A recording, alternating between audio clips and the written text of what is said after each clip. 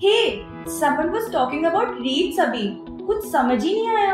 थोड़ा easy words में समझाना। Okay so REITs are real estate investment trust these are companies that own और finance income producing real estate basically ये companies क्या करती हैं?